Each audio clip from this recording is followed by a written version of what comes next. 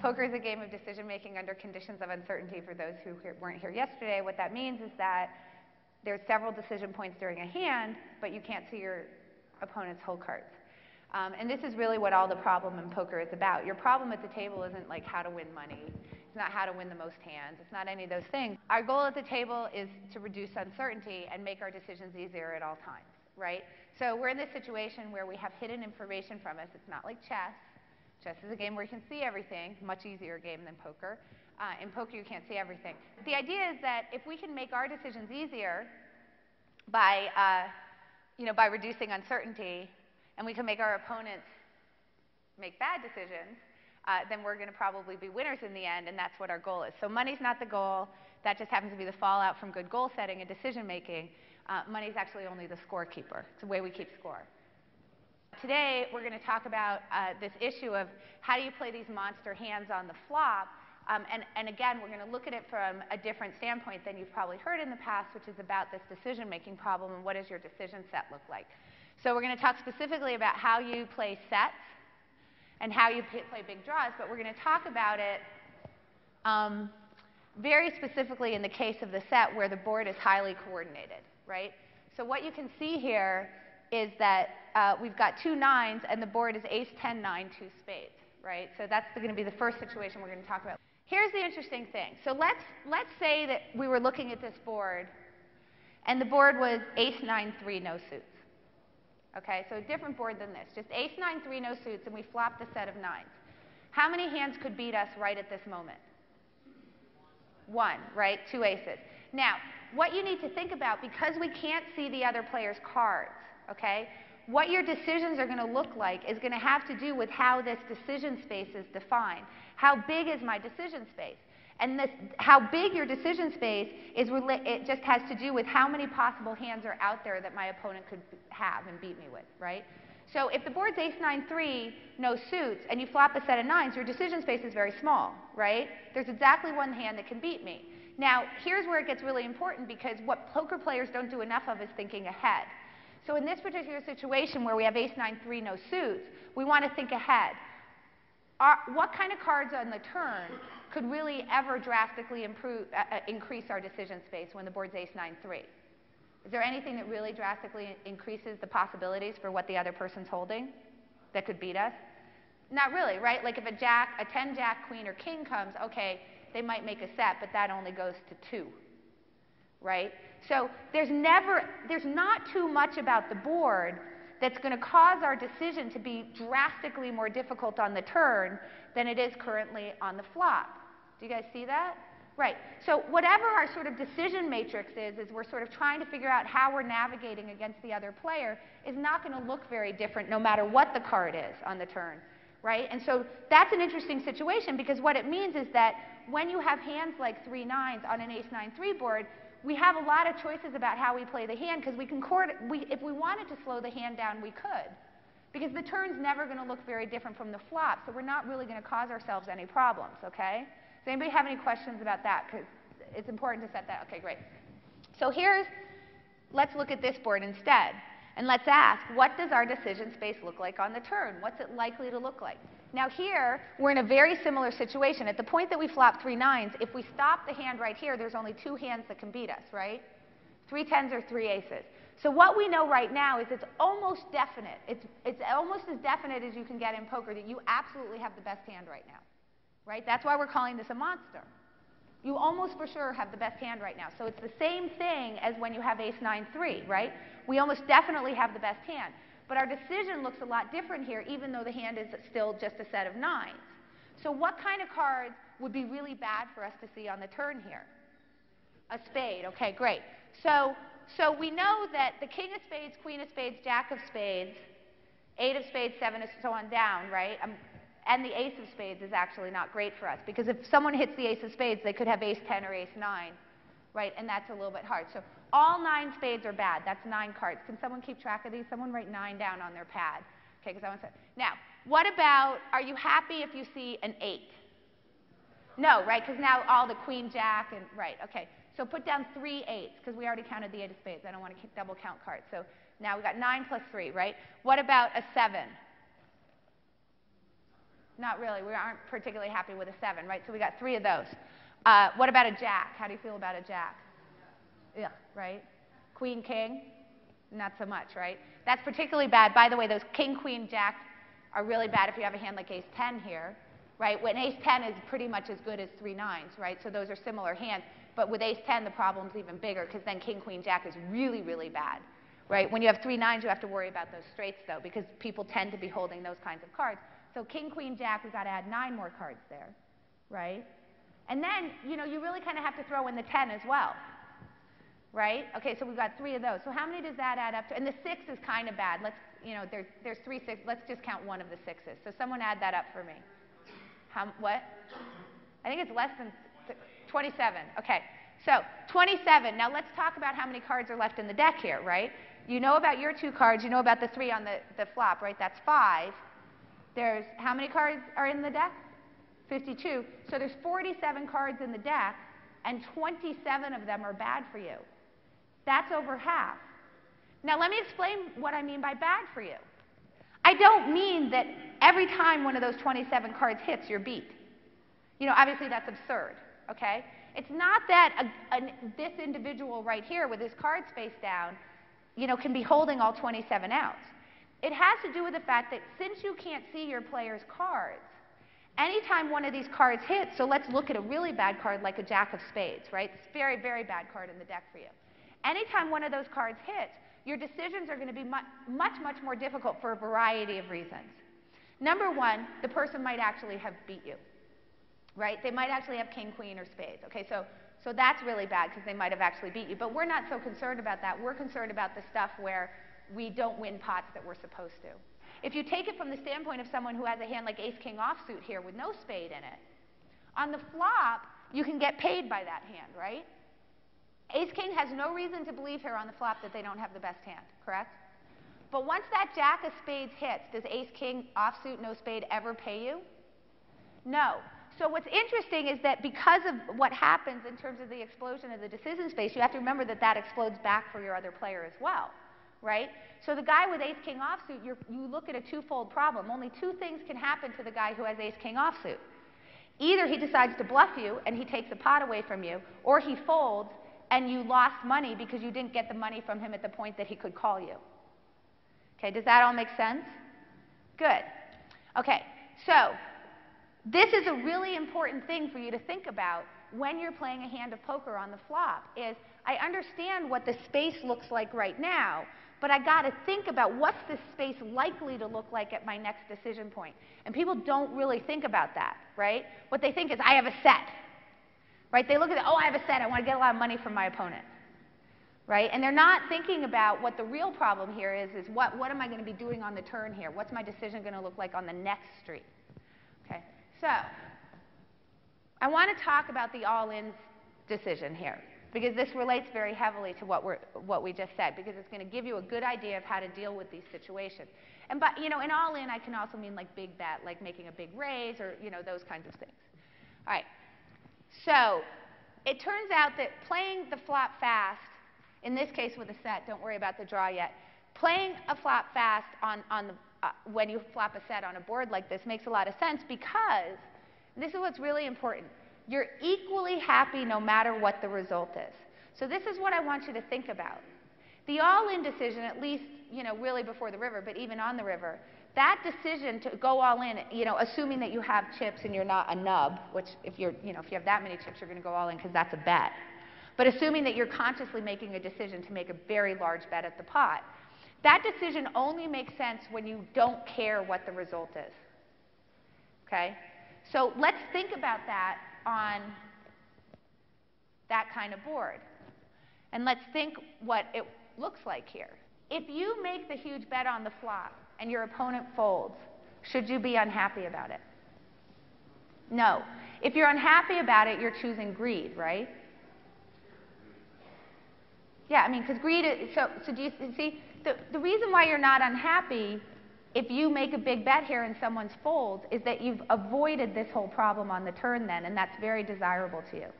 So it doesn't matter that your hand's a set because it doesn't look, it's not actually as strong as it looks to you because the decision is going to be so hard on the turn. So the point here is you want to deal with this hand at the point where you know your hand to be strong and you're not vulnerable to all the things that can happen on the next card. So if I move it and you fold, that's awesome. I got the goal because I understood what my goal is. I don't want to make any more decisions. If I move and you call, that's awesome. I have the best hand and I don't have to make any more decisions. Even better. Um, now, the other thing that's kind of interesting about this is that this, when, you, when you make this big bet on the flop, it also happens to be the time that you're most likely to get called by a flush draw. Which is awesome because this is a point at which obviously you're a big favorite against the flush draw you're a huge favorite, the flush draw wouldn't be getting the right price here because they, they'd actually be getting like less than two to one if you're over betting the pot. And what happens if the deuce of diamonds hits on the turn? Does the flush draw pay you off anymore? No, right? So here, this is the point where you're most likely to get money from ace king. It's also the point where you're most likely to get the money from the flush. Um, okay, so what you can see is with a set on a textured board, the decision space explodes on the turn. So your goal is to end the decision making on the flop. Okay, so that's the. So now let's look at out of position. Okay, so in position, you know, if somebody bets into you, you're just going to make a big bet, right? If they check to you, you're going to make a pretty big bet there. Now out of position, it's going to kind of depend on who was the pre-flop raiser, because we always have to think about where's that lead that we talked about yesterday, right? Who has that lead? Because you have this kind of natural action at the table of I check to the raiser, I check to the raiser, I check to the raiser. So let's say that you weren't the raiser before the flop. Okay? If you're not the raiser before the flop, well, here's the big thing. You don't want to give a free card because this texture is working against you, right? So you can't give a free card. But if you were not the pre-flop raiser, the other guy has a natural continuation bet, right? So you can check to him. Now you're going to check to him, he's going to bet, what can you do? raise, like your eyeballs, right. So going to make a nice big check raise there and try to get that hand over with, particularly out of position. Okay, great. So when the other guy has the lead, you can do this very natural check to him and allow that hand to play out that way. Now, if he doesn't have the lead, it's a much dicier situation, right? If you're the one with the lead, you have the natural bet. Okay? But the problem with that is that if you lead out, it might only be for one bet and then you're going to have to see a turn. So, but you can't give a free card, so that's kind of a conundrum, right? It's like a puzzle, an enigma. So here's the problem, like you don't want to see the turn, and if you continuation bet, maybe he's just going to call your continuation bet, which is going to cause the turn to fall. But if you check, maybe you're going to give a free card. So this is where you always want to think about your opponent, right? It's the reason why I can't give you rules for things. Um, the reason why you want to think about your opponent is you want to say to yourself, is this a guy who always bets when I check? You know those guys, right? You've played against those guys, right? If I check, he bets like 100% of the time. That's probably a good guy to check the lead away against, right? So you raise before the flop, he calls, the board comes this, and you're like, oh, that's that guy who always bets when I check, I check. And he's going to bet, and now you can check raise, okay? If he's not that guy, you better bet this hand and go, I hope he raises me, you know. All right? So that's what you want to be thinking about as you're trying. So, so here's the key. It's not about, am I always supposed to continuation bet? You know, am I always supposed to keep the lead? Am I always supposed to do that? It's, what's my goal with the hand? If my goal with the hand is to somehow try to get a raise in, then what's the best way for me to do that, right? If I'm in position, i would really like the guy to lead into me. That would be awesome, right? But if I'm out of position, now I got to figure out what's the best way for me to get a raise in. Well, the best way for you to get a raise in is to check raise. So then you just got to think, is he going to bet for me? That's the next question. Is this guy going to bet for me if I check? And if the answer is yes, you should always check. And if the answer is no, you should always bet because you don't want to give a free card either. So it's about setting your goals properly, and that will always get you to the right answer against your given opponent. So now we're going to look at a very similar kind of board, right? This board isn't that different than the other board. Uh, 10, 6, deuce, 2 spades. But now you've got ace, king of spades. Okay, so now we've changed it up. So there's three components that make this hand big. I have a flush draw. I have two overs, and I'm going to see two cards. So, what do you think your goal with this hand should be? To see two cards.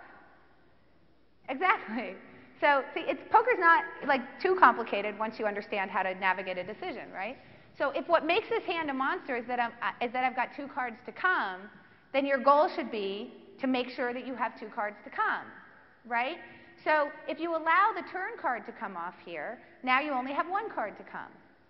Okay, great. So that causes a lot of problems because if it's a bust for you, you could get bet out of the hand, right? And all of a sudden now you're a two to one dog or more, right? Um, but here's the other problem is that if the spade comes, can you get paid off? I mean, your opponents are hyper aware that there's spades on the board, right? They always are. That's the problem with flushes, right? So when the spade comes, is it easy for you to get paid off now? No, right? So it's both of those problems, right? If you let the turn card come off, it's the same problem with the set. You might lose the pot now, right? And if, you, and, and if it happens to complete the texture, you might not get as much money out of your opponent as maybe you deserved. Okay, great.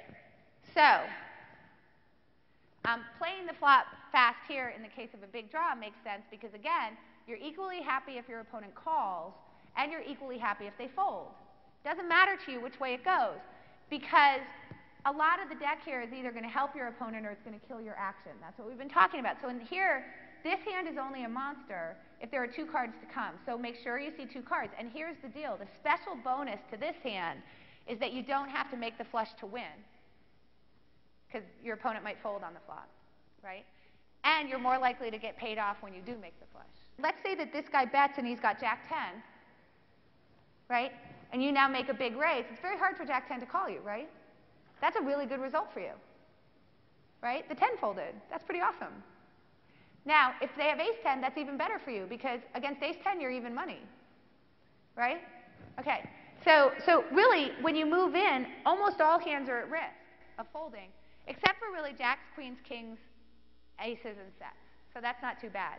If he bets and he was the pre-flop raiser, that's awesome. You can raise him. Um, but, and, and if, if obviously if you were the pre-flop raiser and he bets, you could raise him.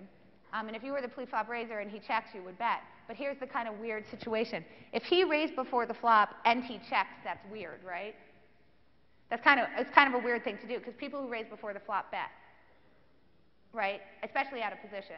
So if he checked, what, is that, what do you think that means?